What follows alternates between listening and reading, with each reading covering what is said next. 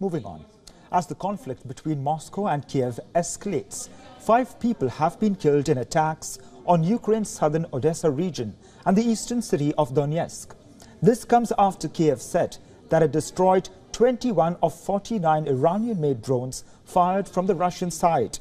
Six guided missiles had also targeted the northeastern city of Kharkiv.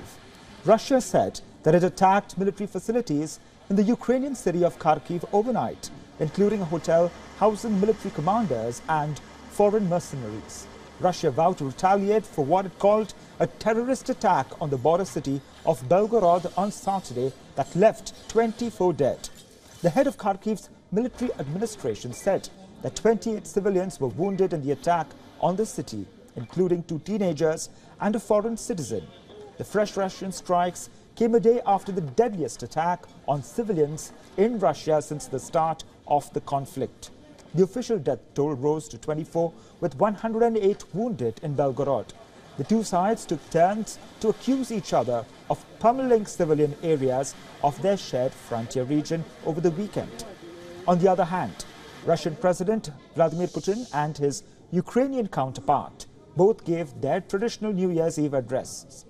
Putin praised Russia's soldiers on the front line. I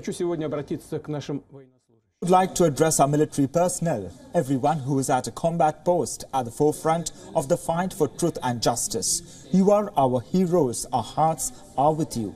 We are proud of you and we admire your courage. I know that now you feel the love of your closest and dearest relatives, the powerful, sincere support of millions of Russian citizens the support of the entire nation.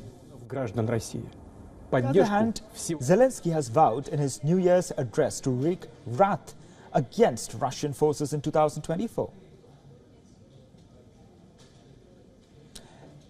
Meanwhile, the United Nations has said that more than 10,000 civilians have been killed in Ukraine and nearly 60 people inside Russia. However, both sides have denied targeting civilians in a war that Russia launched against its neighbor in February 2022.